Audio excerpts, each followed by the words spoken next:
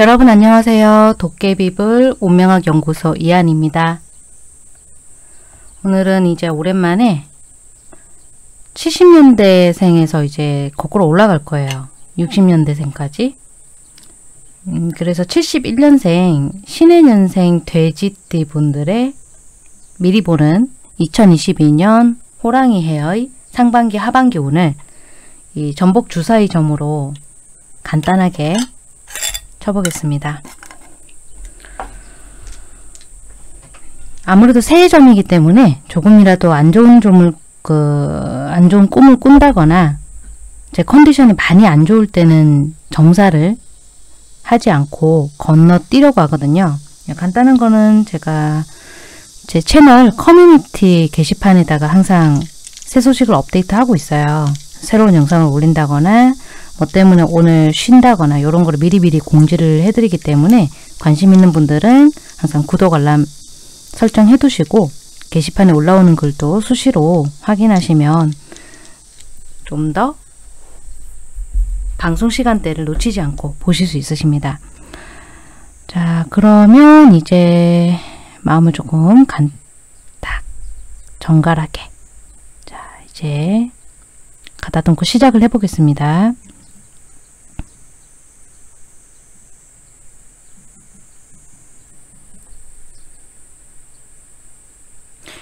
혹시라도 점사의 결과가 만족스럽지 않더라도 너무 실망하지 마십시오. 예, 점은 그냥 담백하게 받아들이시고 저의 의견은 참고만 해주시면 되겠습니다. 자, 지금 점사 나왔고요.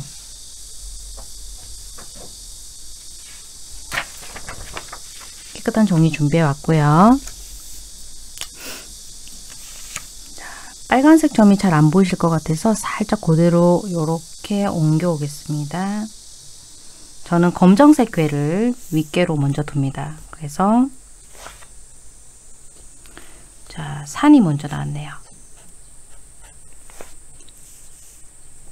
다음에 불이 나왔습니다. 다섯 번째 효가 변했고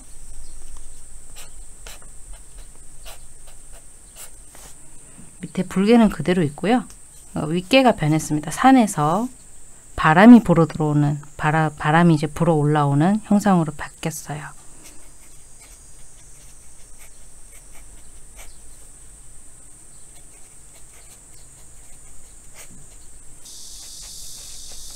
어쨌든 흐름을 보는 부분이기 때문에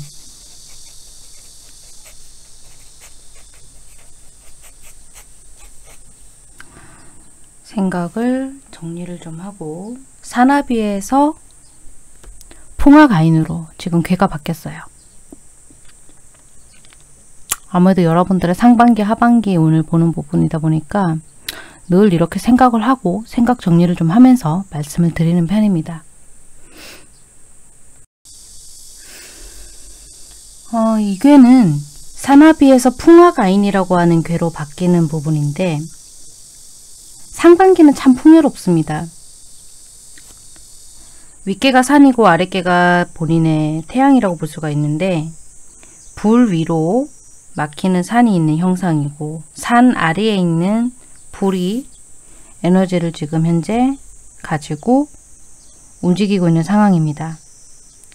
그런데 이 괴상 자체가 이제 이글이글 거리는 태양은 백그라운드로 깔고 있지만 위로 올라오는 바람으로 이렇게 바뀌는 부분입니다. 전체적인 한 해의 흐름을 보면은 욕심을 버리라는 의미가 됩니다. 한마디로. 그러니까 풍화관이라는 의미 자체로 변한다는 것이 외부의 어떤 확장이라던가 새로운 시작을 하기에는 다소 불리할 수가 있다는 의미가 되거든요. 욕심을 버리라. 이것은 사업이나 직장을 다니시는 분들에게 모두 공통적으로 막힘이 예상이 된다는 의미고요. 초조해 하시면 안됩니다. 즉 서두르시게 되면 손해가 날 수 있습니다. 꾸준하게 노력하시는 분들에게는 이득이 있어요. 또 매매라던가 이직이라던가 전반적인 이동에 해당하는 이사라던가 이런 세 가지 부분 그러니까 매매 안에는 명리적으로 이제 문서운도 되죠. 계약서를 찍는다거나 사인을 하신다거나 꼼꼼함을 요구하는 상황 이런 부분에서는 가급적 다소 불리한 운이 예상이 됩니다. 즉 전문가를 끼고 대동을 하셔도 유리한 운은 아니라는 거죠. 그래서 가급적이며 미루시는 것이 좋습니다. 자, 그러면 이제 승진이라던가 또 취직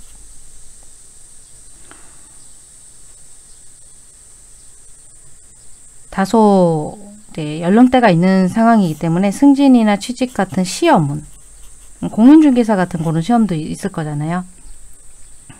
IT 쪽 자격증일 수도 있고 이런 상황도 올해 시험은 띠별 전체로 봤을 때는 불리하게 돌아갈 수 있습니다. 다소 불리합니다. 본인은 공부하신 것만큼 성과를 얻기보다는 조금 더 시간적인 여유를 가지고 진행을 하시는 것이 현명하다. 이렇게 말씀드릴 수가 있고요. 그리고 이제 올해 힘들 수 있는 것이 바로 대인관계입니다. 대인관계랑 부부라든가 연인관계 이런 부분에서는 다소 마찰이 예상이 됩니다. 재혼을 염두하시는 분들 또 결혼을 염두하시는 분들 이런 상황도 내가 원하는 사람과 적절한 시기에 짝을 맺으셔야 되는데 그 부분이 엇나갈 수 있어요. 어, 다소 좀 상대방의 노력과 이해와 양보가 훨씬 많이 필요한 해가 되지 않나 싶고 건강운도 관심이 높으실 거예요. 이 건강운도 좀 할 얘기가 있는데 가급적이면은 만성적인 질환 때문에 고통을 많이 받으실 수 있거든요. 올해. 나을 줄 알았는데 상반기에 분명히 확인하고 완치가 된 줄 알았는데 하반기에 또 한 번 걸리는 거죠. 그래서 이것은 만성적인 질병에 대한 예방이 필요하시고 전문가의 주치의 도움을 좀 충분히 받으셨으면 좋겠고요. 대인관계에서 불리하다 이 말은 이제 소송도 송사 이런 운도 같이 볼 수가 있거든요. 내용 증명에 오고 간다거나 경찰서에 가실 일이 있다거나 이런 소송 같은 경우에는 본인에게 다소 불리하게 돌아가는 한 해입니다. 전반적으로 봤을 때. 그래서 웬만하면은 증거가 충분하다 하더라도 가급적 그냥 빨리 마무리 하시는 것이 합의 쪽으로 방향을 이끄시는 것이 좋고요. 한번 움직이시게 되면 꽤 오랫동안 움직일 수가 있거든요. 그래서 여행이라든가 이런 부분들도 단기 여행보다는 장기 여행이 훨씬 유리하세요. 장기로 간다는 얘기는 지출이 사실 많다는 뜻입니다. 지출이 크고 준비를 좀 많이 하셔야 됩니다. 단기로 갔다 왔다 하시는 여행이 아니기 때문에 그래서 이런 기본 베이스를 가지고 이제 12장으로 된 주역을 기초로 한 타로 카드를 가지고 전반적인 흐름을 한번 간단하게 살펴보도록 하겠습니다. 혹시 상담 신청하시고 싶으신 분들은요. 상담 신청 링크를 영상 더보기 클릭하시면 나와요. 이게 핸드폰에서 보시는 분들은 제목 오른쪽으로 보시면 이렇게 아래로 향하는 화살표가 있습니다. 그거 클릭하시면 뭐가 내용이 쫙 나오거든요.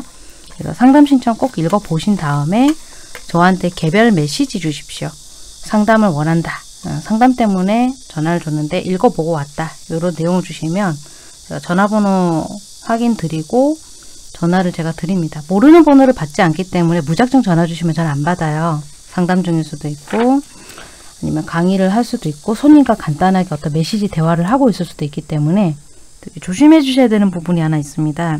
제가 전화기가 막 두 대씩 세 대씩 있는 사람이 아니거든요. 해외에서 손님들하고 이야기를 하고 있는데 일반 전화가 들어오잖아요. 그러면 강제로 전화가 끊겨요. 컴퓨터로 물론 통화할 때도 있죠. 그때는 이제 끊기지 않는데 그냥 일반 전화로 보이스톡 할 때도 있거든요. 그런 건 조금 조심해 주셨으면 좋겠어요. 전화가 끊기면 또 저도 상대방도 흐름이 끊기기도 하고 아무래도 좀 민망하죠. 양쪽에 제가 또 통화를 하고 다시 흐름을 잡아야 되니까. 이렇게 꾸준하게 말씀드리지만 무작정 전화 주시는 분들이 계시더라고요. 그 죄송하지만 그런 경우는 인연으로 이어지기 어려운 경우가 많습니다. 본인의 상담이 급한 만큼 다른 분들을 충분하게 배려를 해주셨으면 좋겠어요. 그러면 이제 12장을 섞고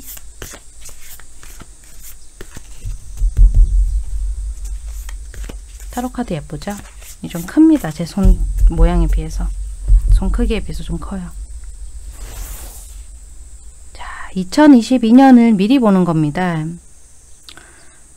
71년도 돼지띠분들 명리로 풀 건 아니기 때문에 1월부터 12월까지 총 12장을 뽑을 겁니다.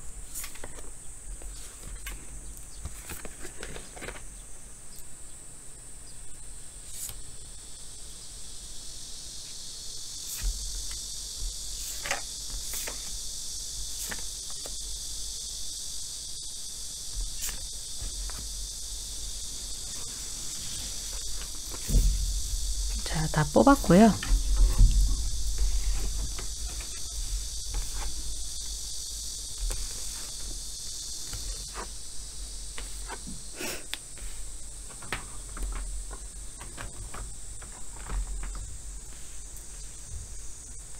혹시 잘 안 보이거나 그러면 제가 카메라 쪽으로 카드를 올려서 이렇게 설명을 해 드릴게요.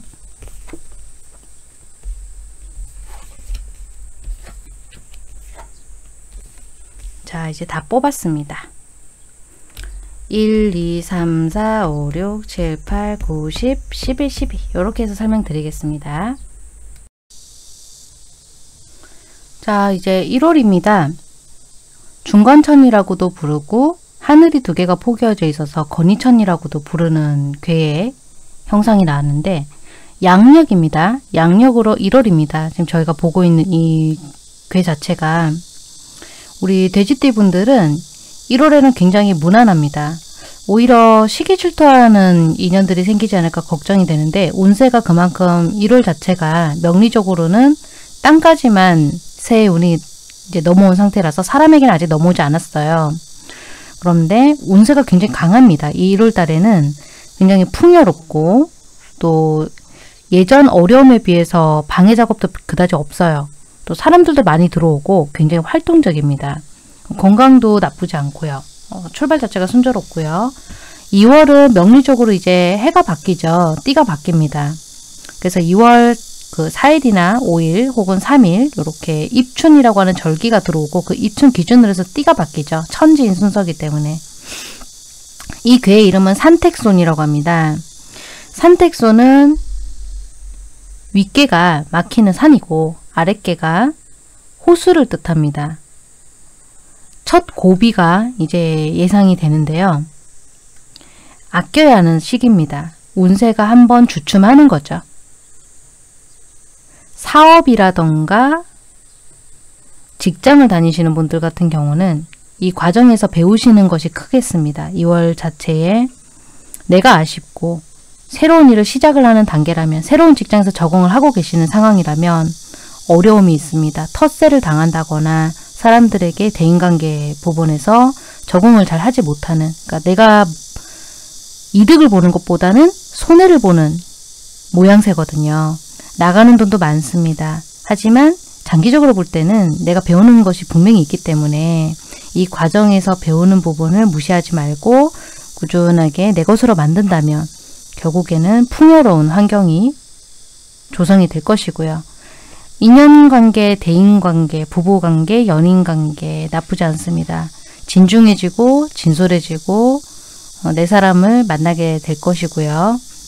건강 같은 경우에는 조금 아껴야 하는 상황입니다. 아껴 드시고 술 이런 그 내 생활이 이제 낭비가 될 수 있는 절제가 떨어질 수 있는 요소들이죠. 음주, 그렇죠. 술, 음주, 약물 이런 것들은 좀 조절을 하시는 것이 좋아요.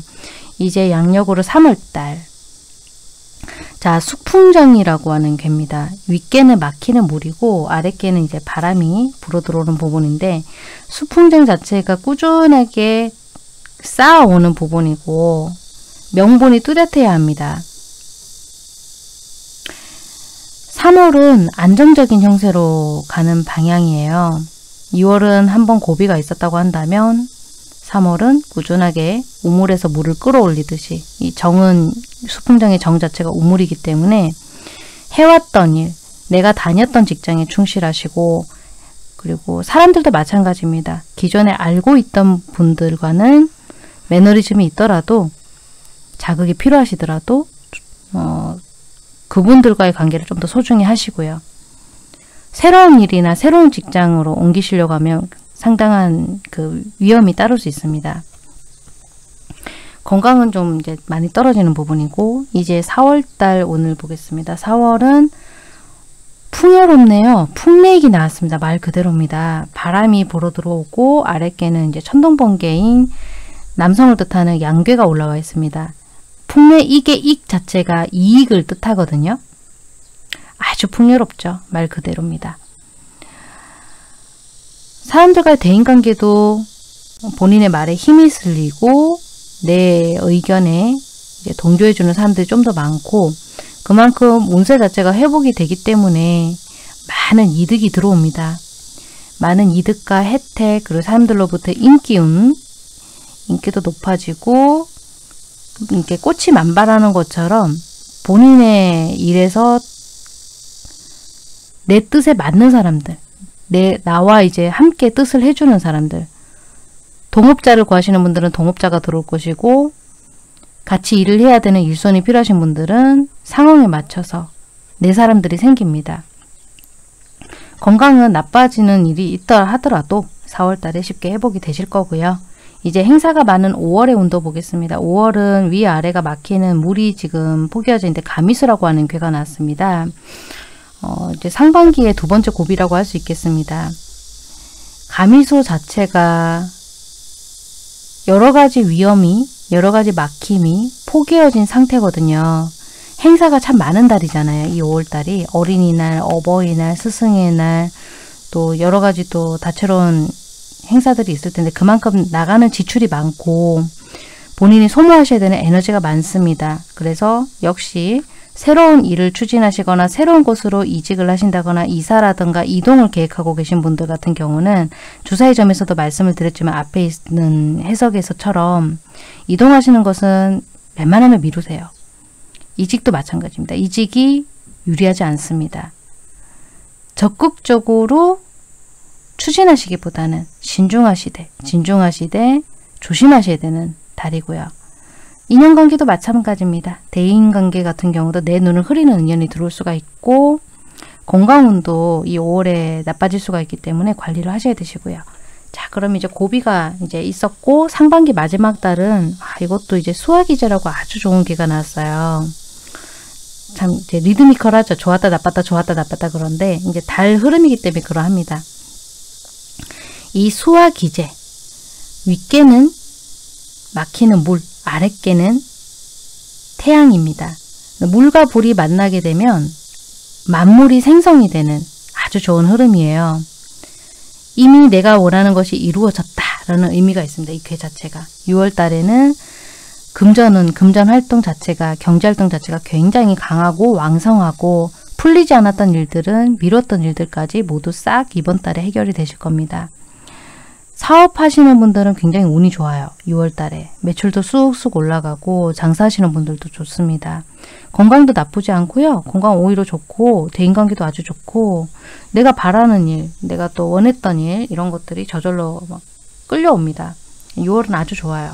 자 그럼 이제 상반기 끝났고 하반기 보겠습니다. 하반기 7월달이죠. 첫달 천산돈이라고 하는 괴가 나왔어요. 윗개가 하늘이고 아랫개가 이제 막히는 산입니다. 멀리 돌아가셔야 되는 상황이고요. 이 7월 달에는 또 휴가철이잖아요. 매출이 이제 다소 주춤하실 거예요. 장사하시는 분들, 자영업 하시는 분들, 사업하시는 분들, 직장 다니시는 분들 7월에 한 차례 어려움이 있겠습니다.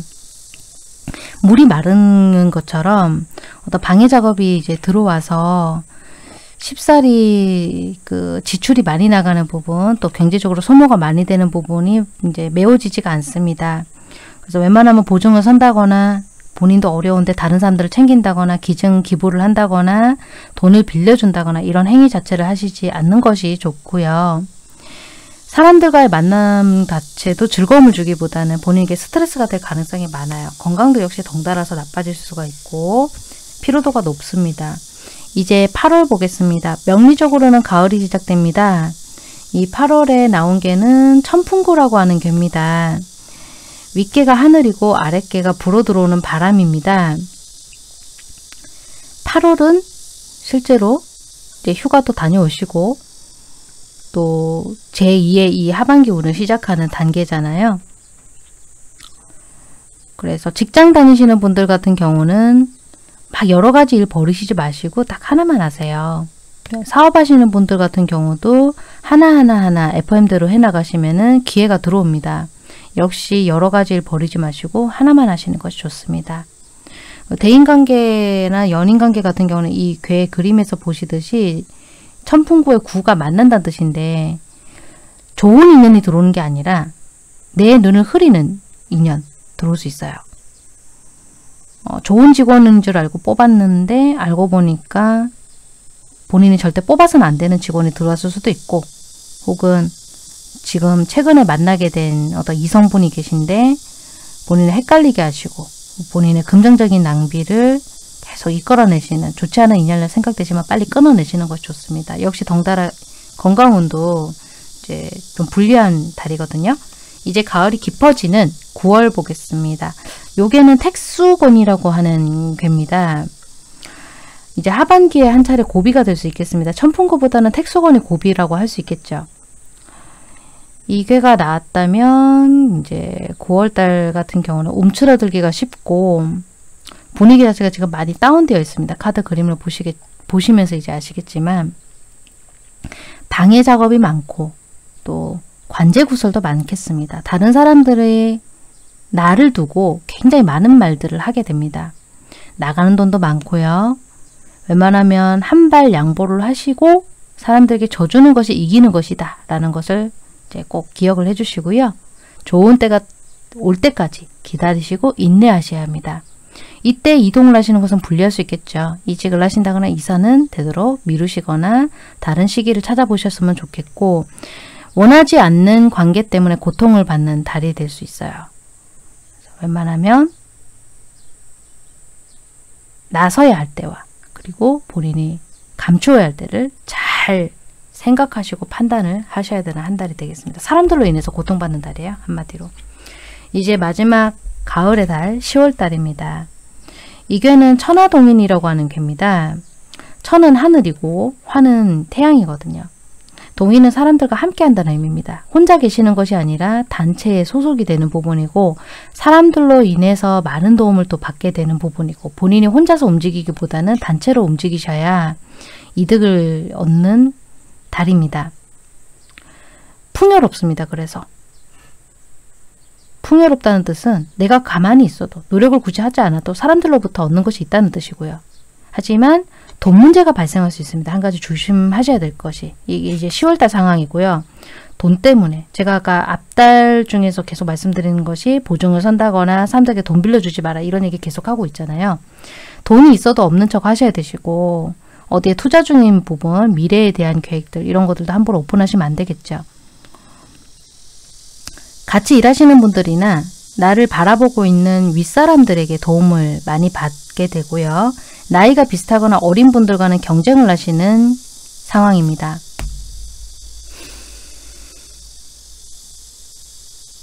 결론은 좋아요. 사람들에게 결국 도움을 받게 되니까. 그럼 이제 11월 달로 보겠습니다. 자, 11월은 명리적으로는 겨울이 시작이 되죠.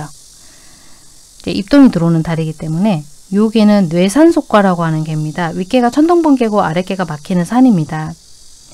이 속가계가 나왔다는 것은 11월도 하반기 들어서 한 차례 고비가 될 수가 있어요. 어떤 부분일까? 11월 같은 경우에는 고비라고 할 만한 게 큰 일을 추진하시는 분들 있잖아요. 사업도 그렇고 본인이 지금까지 경험해보지 못했는데 한번 해보겠다라고 나선 어떤 업무가 있을 겁니다. 그 일 자체에서 어려움이 이제 따를 수가 있어요. 누가 도와주는 것이 아니라 본인이 하나부터 열까지 다 만들어 나가야 하고 시장 조사를 해야 하고 공부를 해서 그 일을 만들어 나가야 하는 즉 매뉴얼이 없는 일이라서 상당히 애를 먹을 수가 있습니다. 잘난 척 하시면 안 되고 하시던 일 자체는 버리기보다는 내 것이 될 수 있도록 잘 야무지게 추스려야 합니다. 간소화시키는 작업이 중요합니다. 펼치는 것이 아니라 간소화시키고 매뉴얼화 시키고 그래서 음, 역시 이번 이 11월 달도 사람들이 나를 두고 참 말이 많아요. 내 욕심이 많아서 그럴까요?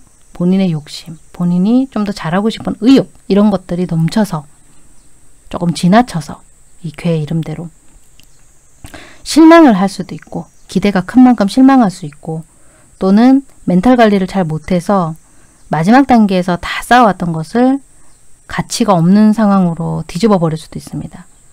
그러니까 사람들에게 계속 제3자의 말만 듣고 연인 간의 결혼을 뒤집는다거나 또 이제 지금까지 잘 쌓아왔던 대인관계 자체를 어떤 특정인의 말만 믿고 믿음이 깨져버리는 상황이 생길 수가 있습니다. 이런 것도 조심하셔야 되시고 역시 건강관리 하셔야 됩니다. 그러니까 질병 때문에 계속 고통을 받을 수 있는 흐름이 있거든요.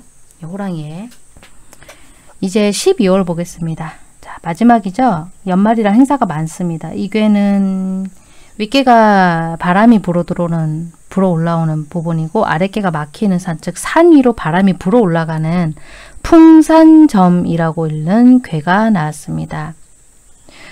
12월은 크리스마스도 있고 제가 동지팥죽 먹는 날짜도 있어요.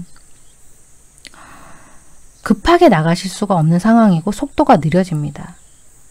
급하게 나갈 수 없다는 것은 속도 자체가 느려진다는 의미고 어, 결핍이 아니라 굉장히 풍요롭습니다. 천천히 이루어지는 부분이고요. 내 노력이 드디어 보상을 받습니다. 대인관계도 내가 원하는 사람들이 들어오고요. 그래서 꾸준히 자기 개발을 해오셨던 분들은 12월 달에 좋은 결과를 보실 것이고 뭔가 이제 계속 눈앞에 있는 것만 급급해서 쫓아다녔던 분들 같은 경우는 12월 달에 좋은 결실이 오지 않을 가능성이 높아요. 자 이렇게 12달의 흐름을 가볍게 살펴보았고요. 제 해석이 마음에 드셨다면 좋아요, 구독 꼭 부탁드리고 개인 상담 원하시는 분들은 꼭 상담 신청 읽어보시고 저랑 만날 수 있는 기회 만드셨으면 좋겠습니다. 여러분들 영상 부족하지만 끝까지 봐주셔서 감사드리고요. 저는 또 다른 영상 찍으러 가겠습니다. 감사합니다.